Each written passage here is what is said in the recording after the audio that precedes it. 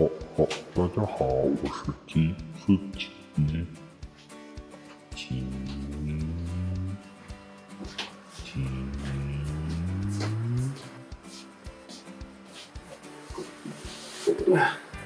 热吗？今天我要做火锅，上部火锅，上部香菇，上部火锅，你要介绍香菇火锅，为什么叫香菇？去 Wiki 看一下。怎么这么懒？首先把鸡肉切好入口的大小。我今天用鸡腿肉，但是你喜欢的话，你也可以用鸡胸肉。但是我觉得鸡腿肉比较大倍数多，比较适合。然后我今天用两片鸡腿肉。但是一片是我等一下做成鸡肉丸。我今天用的鸡肉是一开始就出来的黄色的鸡的肉，它是鸡肉丸。其实做香菇锅的材料用什么都可以，因为香布做的火锅都是叫香布锅。日文叫做酱狗，香布做的料理都是酱狗，所以冰淇淋、鸡块、薯条、卤肉饭都是叫酱狗。虽然我最近越来越胖，但是我还没打算当香布，所以这次不是真正的香布锅，就是一个普通的棒棒锅。好，鸡肉切好后要打碎。如果你家里有绞肉的话，你也可以直接用绞肉。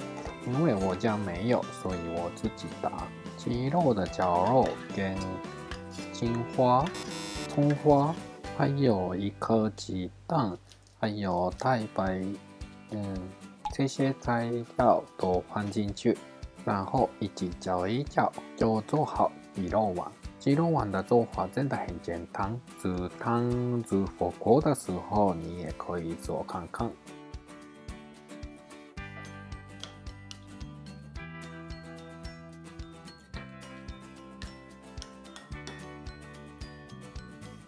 然后我上次去大阪的时候买到一个高汤包，所以我这次用看看。我觉得吃香布锅的话，用柴油高汤或是滚木锅汤。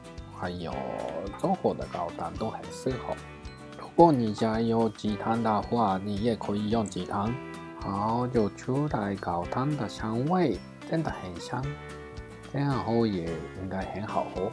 我煮过后大概煮了三分钟，就高汤包拿起来，因为我刚刚也有放鸡肉，所以里面有鸡的味道，还有很多高汤的味道。真的很好吃，然后我加酱油跟味淋，还有米酒调味，这样就做好很日式的锅底。锅底做好后，剩下都很简单，你喜欢的材料都放进里面就做好。我这次做了没有这个？我这次放白菜、豆芽菜、红萝卜、豆腐、韭菜，还有豆皮。然后你也不要忘记放刚刚做好的鸡肉丸，这个鸡肉丸松甜甜的，松松的。今天我感觉没有舌头，只讲不出来。好，那火锅里的材料都煮好的话就可以吃，高汤的香味真的很香。好吃吗？好吃吗？好吃吗？我在录影，还没吃。